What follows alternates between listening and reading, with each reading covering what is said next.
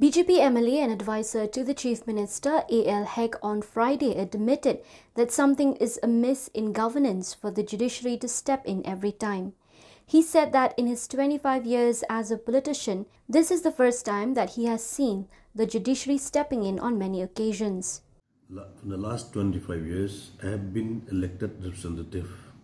I've been in a government, from one government to another government, from one chief minister to another chief minister.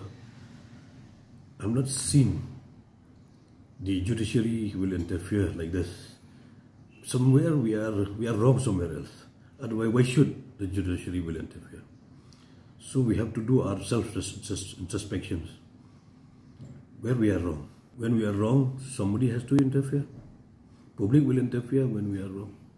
Judiciary will interfere when we are wrong. Sometimes if emergency, the army also will interfere if they are wrong.